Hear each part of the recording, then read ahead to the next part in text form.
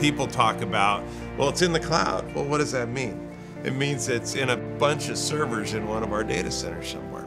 The physicality of the internet and of the world around computing is huge.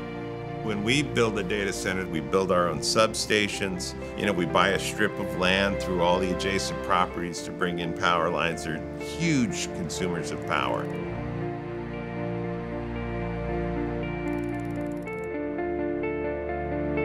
The whole idea of Moore's Law, you know, things are getting smaller and faster and cheaper every year.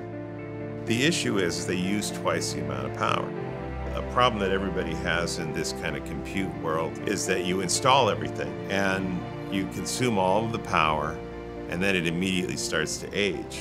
So we had to start figuring out ways to add power capacity and basically what we were doing was expanding our data centers by a megawatt of power per year.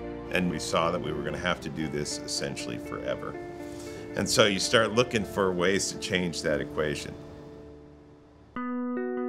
We can now look at our data centers and say, well, all we need to do is free up a tiny little bit of power, tiny little bit of capacity. And using that little bit of capacity that I freed up, I can take the same amount of power and put dramatically more computing in that same power footprint.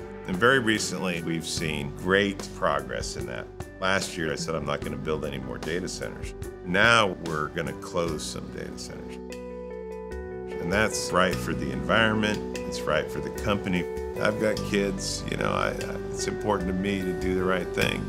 And so this is a real opportunity to do that.